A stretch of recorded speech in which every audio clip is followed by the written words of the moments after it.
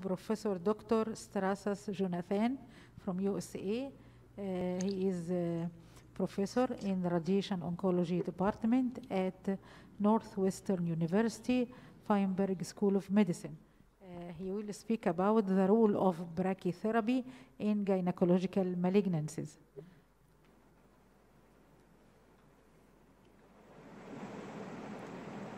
You can start now, Professor Doctor. You can start. All right. Well, I am so glad to be here again, uh, this time remotely, although it was a delight to, uh, to be at this conference in person a couple years ago. Um, and I'll be talking a couple times today, and this first one will be a little more informal and hopefully will cover some questions it's a fairly broad topic about the role of brachytherapy in gynecologic malignancies. And I would say that there are essentially you know, two diseases where we very often use brachytherapy, and these are endometrial cancer and cervical cancer. And those are the ones that I'll focus on. And I want to talk a little bit about the rationale for brachytherapy and a bit about how we do it, what applicators are available, and a lot of perhaps answering questions. Let's start with endometrial cancer. Uh, so, you know, if we go back a ways and we think about why we do brachytherapy in the setting of endometrial cancer, there were these sister trials, GOG 99 and Portec 1, that looked at external beam pelvic radiotherapy in women with kind of intermediate risk endometrial cancer postoperatively. So, because I'm American, let's look briefly at GOG 99 disenrolled women with FIGO stage one or some stage two occult with any Professor, invasion. Uh, no. Please share the presentation. Uh, uh, I'm sorry, is it not being shared? No. My my apologies. Uh, rookie mistake. How are we doing now? It's yes. good. You can continue. Yeah. Perfect. Thank you. Thank you for letting me know. So, so GOG 99 again, and we looked at essentially stage one intermediate risk, and these women were treated with a TAH and BSO and a pelvic and periaortic nodal dissection, and they were node negative. They were randomized between no further treatment or radiotherapy to the pelvis. And, you know, this is an older trial, so this was 50.4 gray in 28 fractions. It could be delivered with cobalt or with a LINAC. It could have been given APPA or with a four field box. Uh, and at the time, we were using bony landmarks to delineate the upper field border, so it was L4, L5 interspace. In a post hoc fashion, we then stratified these patients between what we called low intermediate risk, which was two thirds of the patients, or high intermediate risk, one third. And the factors that got one into high intermediate risk were grades two or three, out or one third invasion of the myometrium, or the presence of LVI as a binary, absent or present. And, and for older women, for those over 70, they needed a single risk factor. For those 50 to 70, they needed two risk factors. In under 50, they needed all three risk factors in order to be considered high intermediate risk. What we found was that pelvic radiotherapy reduced the risk of a pelvic recurrence, but the absolute benefit was much larger in women who were high intermediate risk than those who were low intermediate risk. But what we also found was that if we looked at these are the women who did not receive radiotherapy, if we look at where their recurrences in the pelvis were, the vast majority were vaginal. By contrast, in the radiotherapy arm, there were but two vaginal recurrences, and actually both were in women who refused radiotherapy. So pelvic radiotherapy was doing a very good job in eliminating these vaginal recurrences, but did we really need to treat the whole pelvis when the patterns of failure in this population were mostly vaginal? Well, here the Europeans performed PORTEC 2 to help us answer this question, and they enrolled essentially women, if we look without deep invasion grade 3, so it could be deep invasion grades 1 or 2, or anybody with sh- or shallow invasion grade 3. And they all underwent TAH BSO, only suspicious lymph nodes removed, which is how the European trials have tended to function. And women were randomized between external beam radiotherapy to 46 gray and 23 fractions versus vaginal brachytherapy using probably our most common approach, which is 7 gray prescribed to 0.5 cm depth times three fractions. And what PORTEC 2 told us was, number one, not surprisingly, we had fewer pelvic recurrences if we treated the whole pelvis. These are nodal pelvic recurrences. However, both treatments were equivalent with regard to vaginal recurrences, so vaginal brachytherapy worked just as well, and there was no difference in survival between these treatments because the risk of pelvic recurrence was quite low in this population. And having said that, our toxicities were far superior in the vaginal brachytherapy arm as compared to the pelvic radiotherapy arm.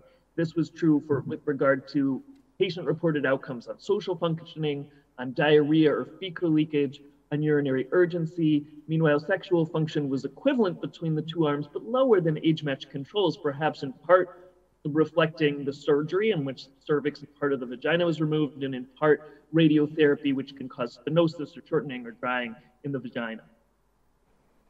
Now, I will say there are some cool subset analyses coming out of here where we might ask, well, are there any of these women who should really be receiving pelvic radiotherapy as opposed to vaginal brachytherapy? And it does look like one can delineate a pretty small high risk group looking at unfavorable features. So this is extensive LVI. If we were to look at LVI on a spectrum, there's some cool data that it looks like focal LVI is not nearly as prognostically significant, but extensive LVI is quite poor, as well as a few molecular signatures that I think we're going to see the PORTEC group continuing to work on in the future.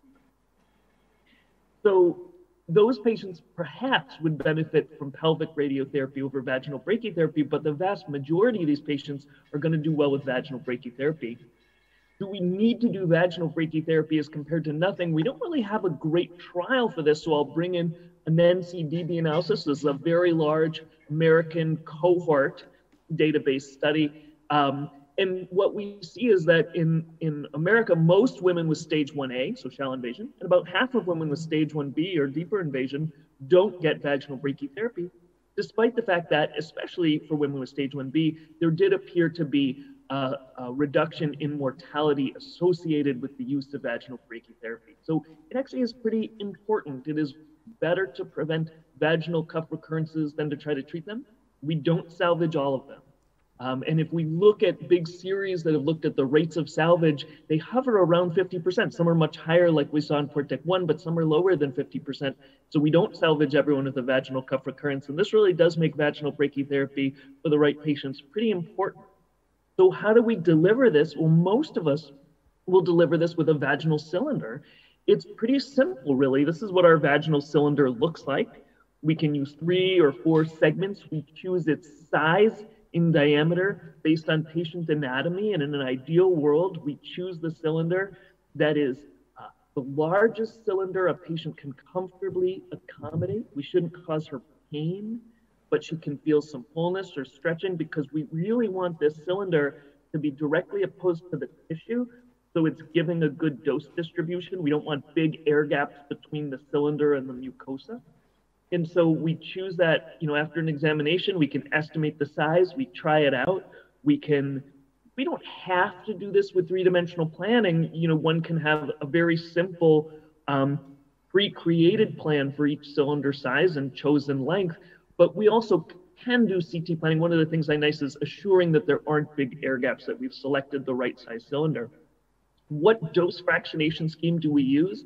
Well, I'll show in just a minute the data that we have. I would say the most commonly used is 7 gray prescribed to 0.5 cm depth times 3 fractions. That's what was used in PORTEC 2.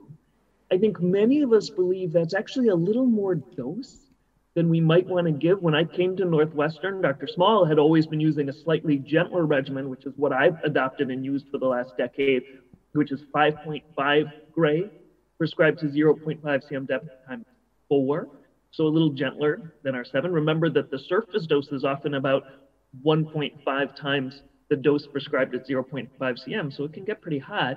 Um, there are other fractionation schemes that are used that sometimes, you know, some people use five gray times five or six prescribed to the surface. Um, but we do have uh, a PORTEC trial right now that's a dose versus dose trial that I think is going to answer this question well. How long do we treat? For most of us, this does vary. based on uh, histology, I will often treat about three centimeters of the vagina, which is pretty short. I think that gives us less toxicity. I will extend it for papillary serous or clear cell histologies where we sometimes see more skip metastases, or I will also extend it for extensive lymph vascular invasion where I think we can see more skip metastases and I'll treat more like five centimeters. Um, and so, oh, yes? Perhaps not. So a point, we did have one published trial that was a dose versus dose trial out of Sweden. It was relatively small. I think the challenge in this study was that the women included were all at very low risk. So shallow invasion to no invasion, grade one or two. And these are women who we would very often now omit brachytherapy for. And what we saw in this study is there was very clearly a difference in mucosal atrophy. It was, or I should say, we randomized women between five grade times six, 0.5 skip depth, or half that dose, 2.5 times six. And so what we saw was there was very clearly a difference in mucosal atrophy and bleeding. The gentler dose regimen caused less toxicity, there was no difference in local recurrence, but my challenge is I'm not sure if, if we could expect much in the way of local recurrence in this population. It made it difficult for me to know if this would be equivalent in a population with a real recurrence risk. That's why I'm really waiting for, for the next PORTEC trial to help me know the optimal dose. And I'm a little reluctant to go too low. But I hope we can go lower. I hope we can derive the benefits of this treatment with even less mucosal toxicity in the future. I will point out when we're treating recurrent disease at the top of the vagina, so when you see a patient who did not get vaginal brachytherapy and has a recurrence at the vaginal cuff, now our brachytherapy options are somewhat different. For those whose disease is less than five millimeters after pelvic radiotherapy, then I will still choose a vaginal cylinder. But for a disease that's thicker, what we can see is if this is our prescription dose line, we can see that for a thicker tumor, a lot of the tumor will be farther out than we can cover effectively with dose that's coming from a line source through a single central catheter in the cylinder. And for those patients, I favor an interstitial approach in which needles are placed through the tumor and a more homogeneous dose that covers the entire tumor can be used. And this really depends on both how big the tumor was at the start and also whether it shrank to external beam radiotherapy. And I'll usually start with 45 gray and 25 fractions to the pelvis and follow that with vaginal brachytherapy or with brachytherapy of some type. Hopefully I can use a cylinder, but when I can't effectively cover the tumor volume, I'll use the and I will say we advise dilator use for our patients after either vaginal brachytherapy or cervical brachytherapy to try to prevent agglutination, shrinkage, shortening of the vagina for better physical exams, sexual functioning. Um, and one of my patients did send me this. It's a big tower in Europe, and she took her picture of herself in front of it saying, Hey, this looks just like that dilator you give. Me." So I use that as a reminder. It's important to, to uh, recommend dilator use, I think, at least for women who desire to be sexually active after treatment. Um, and so, what about for cervical cancer? Well, the first thing I'll just mention is brachytherapy is a really important treatment for cervical cancer. And we don't have randomized trials trying to leave out brachytherapy. The best we've got here is a SEER analysis from America that just looked back at women who did not receive brachytherapy and compared them to those who did when uh, adjusting for all other known prognostic factors, what we see is disease-specific survival, so death from cervical cancer was much higher, or disease-specific survival was lower for women who did not receive brachytherapy. By contrast, there was no difference in non-cervical cancer survival. There was a big difference in disease-specific and overall survival. So brachytherapy saves lives in cervical. So how do we do it? There are different approaches. I will say at our institution, we moved several years ago to an MRI guided high dose rate brachytherapy approach, although for many years we had success using a low dose rate brachytherapy approach that used two dimensional imaging. But I think for those who can, it's preferable to move on to uh, image guidance and high dose rate brachytherapy if it's available. And we, we cured a lot of women without it, but I do think we do a little better with it. Um, how do we do this? We prefer at around week four or so to uh, go to the operating room with our gynae oncology colleagues, although one could do this without them, and suture in a Smith sleeve. So identify the cervical os um, under ultrasound if need be. Often I, I like that as a backup, suturing in this sleeve This is an open-ended Smith sleeve, although we now use closed-ended ones more routinely, suturing it into the cervix. If there's too much tumor, sometimes you have to wait till beyond the fourth week in order to do this. And that way we can then place our tandem later on without having to re-dilate each time. It's easier to do in our brachytherapy suite outside of the OR. We, what we will typically use is a tandem and ring applicator, although tandem and ovoids are perfectly good as well. And so we place the tandem through the Smith sleeve into the uterus and we put the ring in direct position right up against the cervix. And we really want we really want that ring to get up there. So we'll use the largest ring that can fit all the way up to the cervix. Sometimes we'll see some vaginal narrowing, and you don't want to use too large a ring that doesn't get to the cervix. Um, then we like to do MRI guidance. Now, we don't have an MR simulator in our department, so we tend to just do MR planning for our first fraction and not use it for the additional fractions. But I do really think this will help us see the tumor really well. And I think making sure that that tumor is covered as well with the prescription dose is really important. And I do think this is an advantage. And I will also say, I think as we've shifted to MRI guidance and we've been better able to look at normal tissue doses compared to what we were doing in the two-dimensional era, I do think we see less rectal bleeding and toxicity. And We've done better organ sparing and better tumor coverage if it's available to do image guidance. And I do love MR once you get used to it. Sometimes the tumor will be broader than we can cover with kind of a line source up the tandem, in which case we'll add needles through fenestrations in the ring. It can be really valuable in allowing you to push those laterally without pushing it anterior, posterior into the bladder and rectum. And I have found those very useful. When we can't encompass disease, even with that, we'll switch to an interstitial approach we used to use what's called a Syed-Neblett template. We've switched for some sterilization reasons to using the Venezia approach, but this uses a tandem, a ring. We can do needles through the ring and we can do needles through the interstitial template. But there are other approaches. This happens to be the applicator we use. There are other approaches that allow you to put needles through the perineum, and then you can cover well more broadly for tumors that simply you can't be accommodated by the dose distribution one would get with an uh, tandem and ovoids or tandem and ring. And I will point out too, sometimes you have to cover dose farther down the vagina. There are two ways to do that from my point of view. One can do an interstitial approach. So here I show a woman with some vaginal involvement that was tricky, and we actually used an, an interstitial approach to cover that disease very well. And I'll say she's disease free and doing great now. And the other approach for tumors that have a lot of vaginal extension but aren't that broad is to use a tandem and a vaginal cylinder. This is a multi-channel vaginal cylinder, so we can steer the dose pretty well to wherever the dose was. Here's, you know, we can put in catheters into this multi-channel cylinder. And what I like about it here is a woman with a lot of posterior vaginal involvement. I try, if I can avoid it, to not put needles through the posterior vagina, through the rectovaginal septum. I think our risk of a rectovaginal fistula gets high if we implant that with interstitial needles. So my preference, if possible, is to do this with a multi-channel cylinder. So here you can see we could project those into the low cervix, into the low, into the cervix, but also down the vagina. We projected those preferentially posteriorly where she had this bulky vaginal tumor, despite a very slow response to external beam and a pretty tough tumor, we were able to push in enough dose to get long-term pelvic control for this very uh, kind of radiation insensitive tumor. I will say this patient unfortunately succumbed to distant disease, but but we controlled her pelvis and we could do this with a multi-channel cylinder that allowed us to project dose posteriorly down the vagina. So I'm going to pause for a minute. I think I've covered the main techniques that we use and the main rationale, but I really want to leave this open to questions. Please continue, Professor Doctor. You can continue. You can continue. Start.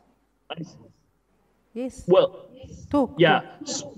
So sure. So my presentation is is done, but what I will do now, I suppose, is see if there are any questions in the audience. Um, and oh, excuse me, and if there are not, um, I can, and we have a little extra time, I can return to talking a little bit more about the approaches that we use. Yes. Uh, yes. I have a question, please. Yes, please Thank go you, ahead. Professor Doctor. And now questions. Who want to Thank push? you, Dr. Strauss, for your uh, excellent presentation. Uh, regarding uh, vaginal cuff uh, brachy, uh, do you prescribe the dose uh, to 0.5 cm for patients who receive vaginal cuff brachy alone and for those who received external beam plus vaginal cuff brachy? Or sometimes you prescribe it to the surface dose for patients um, or the mucosal surface for patients who received the vaginal cuff brachy alone? This is an excellent question. And, and I would say this I, I don't think there's a wrong way to do this because there are different conventions to how we prescribe dose that can both do the job. And for historical reasons, I've prescribed to 0.5 cm depth when I'm treating vaginal brachytherapy alone. And again, I, I usually use, I think, a standard, but not the only standard regimen. I tend to use 5.5 gray to 0.5 cm depth times four. Um, we, we do that often, maybe twice a week. Um, having said that, it is perfectly acceptable to prescribe to the surface in that circumstance. Alternately, when I'm doing this after vaginal, after pelvic radiotherapy, then I use two different doses. If, if this is in the adjuvant setting, so I just think it's a woman at high risk, she has no gross residual disease, I'll either give 45 gray to the pelvis and six gray to the surface times two or three, or I'll give you know 45 gray to the pelvis, maybe 50 gray to the central pelvis, and then maybe two vaginal insertions of six to the surface. And these are for very high women, in, very high risk women in the adjuvant setting. In the salvage setting, and I'm using a cylinder, so this is a woman who's had a recurrence, then I will tend to prescribe, if I'm using a vaginal cylinder, I will tend to prescribe 45 grade to the pelvis, seven grade times three to 0.5 cm depth. Um, and that I took from a GOG, or you know, the most recent GOG trial that was plus minus cisplatin in the setting of recurrence, and that was the dose prescription they used. So that's what I've tended to go with.